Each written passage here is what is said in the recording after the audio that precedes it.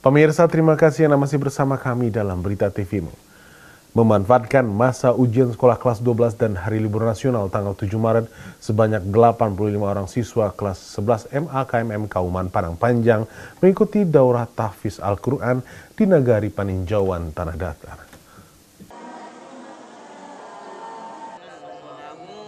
Kegiatan daurah tahfidz Al-Quran kelas 11 MA KMM Kauman Padang Panjang dilaksanakan selama empat hari di Masjid Al-Wusto Paninjauan Tanah Datar dimulai dari tanggal 6 hingga 10 Maret 2019.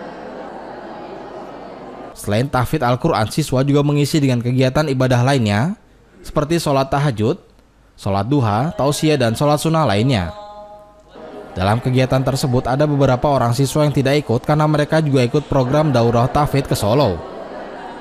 Tidak hanya siswa MA KMM yang ikut merojaah hafalan, tapi juga warga sekitar yang secara mandiri ikut merojaah hafalan.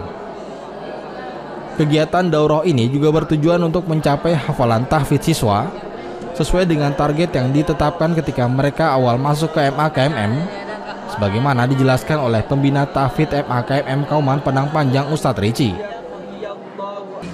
Kita melaksanakan kegiatan daurah tahfidz yang dilaksanakan oleh siswa kita kelas 11 MA KMM Kauman Padang Panjang.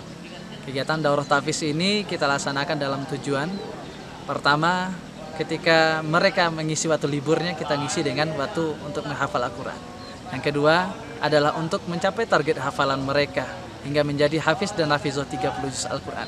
Yang ketiga adalah agar mereka bisa menjadi seorang hafiz dan hafizoh yang akan memberikan mahkota untuk orang tuanya nanti di surga.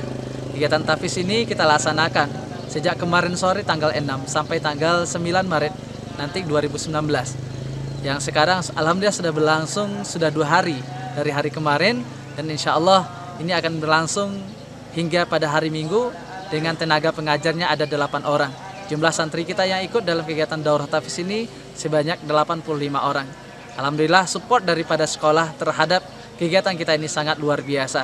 Mudah-mudahan ini bisa menjadi motivasi buat ikhwan dan akhwat yang di luar sana yang ingin menjadi hafiz dan hafizah. Insya Allah kalau sudah berada di jalannya Allah kita akan menjadi manusia yang bermanfaat dunia dan akhirat insya Allah. Kegiatan daurah tafid Al-Quran ini juga mendapat tanggapan yang sangat baik oleh peserta Nadia dan Nadifa untuk menambah hafalan mereka hingga 30 juz. Alhamdulillah daurah ini sangat menyenangkan bisa membantu saya untuk menghafal menambah satu juz atau lebih lebih dari hafalan yang, yang dulu. Dan di sini juga bisa kita menghafal lebih banyak waktu yang untuk menghafal daripada di asrama. Terus harapannya bagaimana ke depan? Harapannya itu mau bisa mau menghafal 30 juz tapi dengan perlahan-lahan dari daurah sini.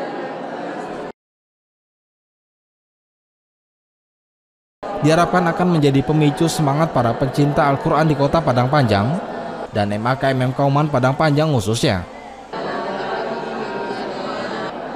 Zainal Abidin memberitakan dari Padang Panjang, Sumatera Barat.